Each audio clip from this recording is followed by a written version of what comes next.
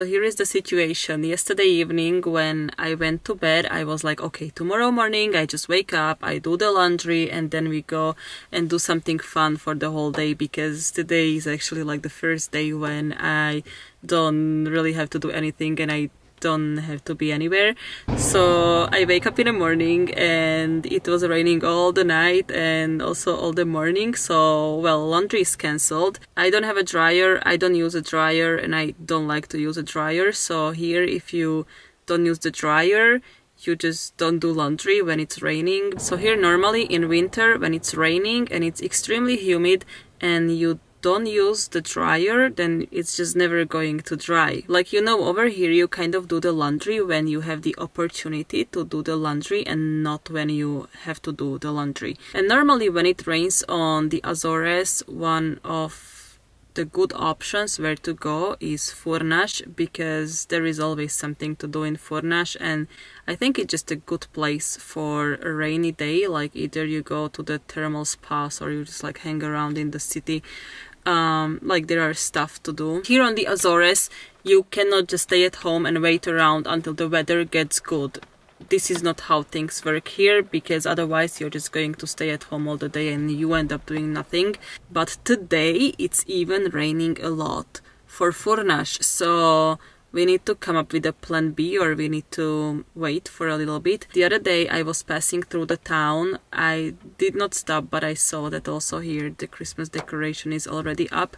And there is a very cute town near Furnas, which I like a lot. It's just very cute and peaceful. This is something what uh, I was planning to do.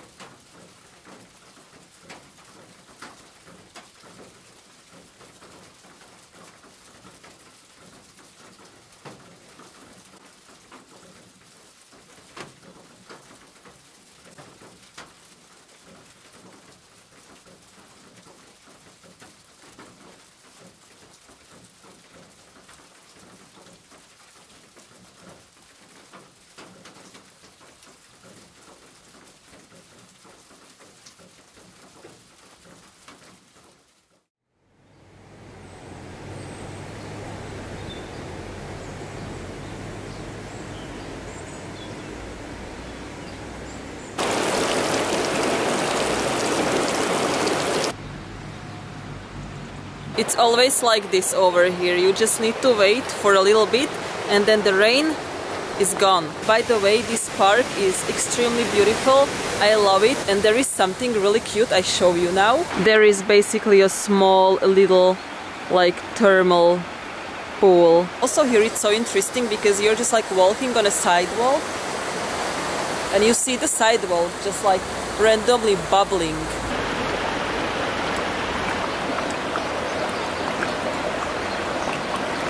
So yesterday evening I was here in the town because I wanted to see whether the Christmas decoration is already lit up but uh, it was not. I guess they are going to do it in the following days or at least when I saw the schedule for most of the places they are doing it either on the 1st of December or then the following uh, week. But here they kind of decorated the caldera and it's extremely nice so we go there.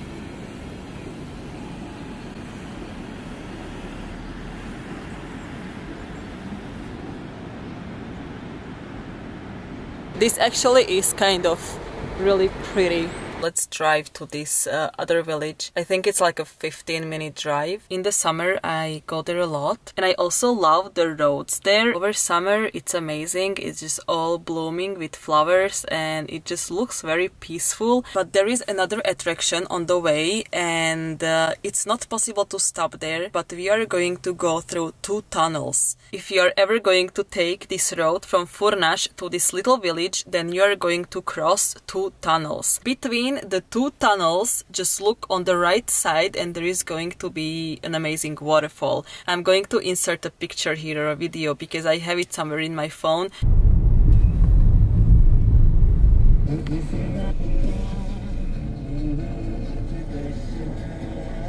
This beach is amazing in summer because they really take care also of the beach. The waves are not big, so if you want to swim in summer, that's like a perfect place.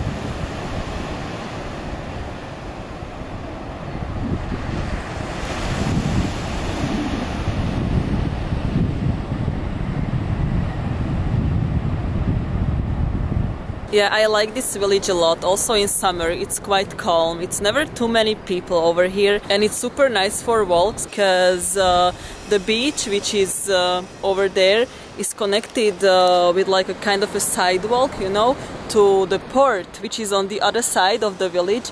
And also in summer, the views from the port are amazing. I think I also have a video of that from last summer, so I'm going to try to find it.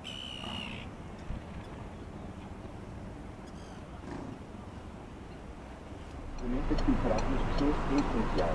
E para continuar com essa que nós precisamos de duplicar e replicar as instituições da empresa